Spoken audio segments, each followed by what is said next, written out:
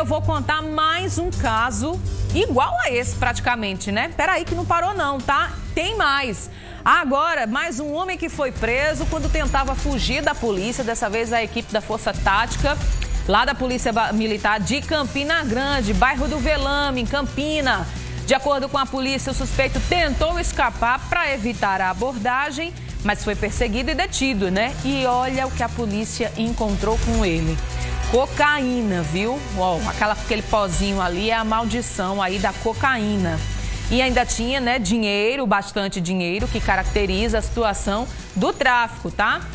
Só que é o seguinte, tá vendo aí esse dinheiro?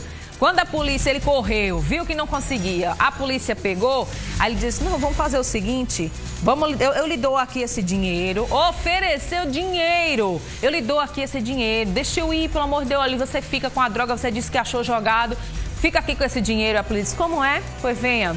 Levou para a delegacia para fazer aí todos os procedimentos relativos à prisão em flagrante. Tentou subornar a força tática. Tu já pensasse agora, viu? Meu Deus do céu. Lá em Campina Grande, tá? É isso, mais um. Eita, meu pai, 7 e 18. Vem pra cá que a gente tem mais informação da área policial. Agora,